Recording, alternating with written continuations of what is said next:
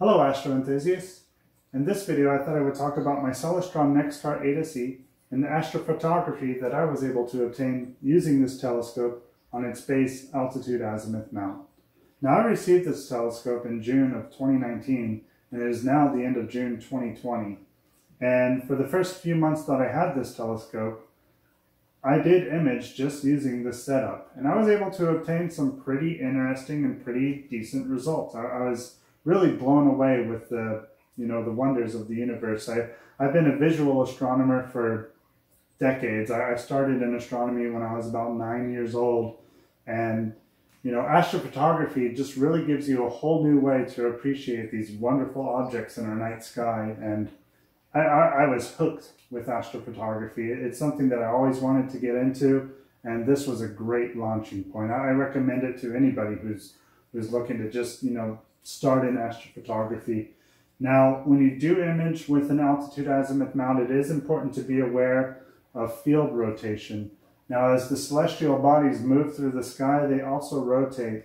And as this mount can only move up and down and left and right, it can't really compensate for the rotation of the object. So you are limited to about a 30 second max exposure.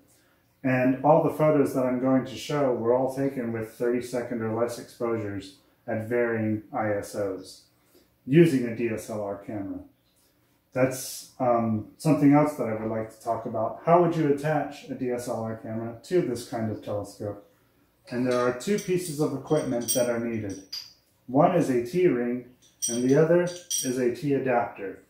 The T-ring connects to the camera body and then threads onto the T adapter. And then the T adapter actually just attaches to the back of the telescope and your camera will be mounted and you're ready to go.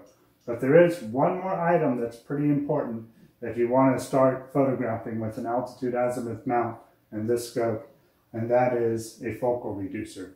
I do have an f6.3 focal reducer attached to the back of this telescope, and what that does is it effectively reduces the focal ratio of the scope from f10 down to f6.3.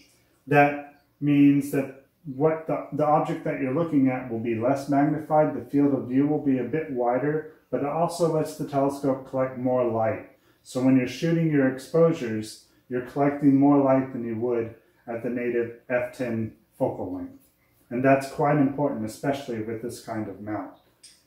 So yeah, I've just been blown away with astrophotography. I do have an equatorial mount that I put this uh, scope on now. And, you know, shooting longer exposures does make a, a dramatic difference in the photography that you can obtain.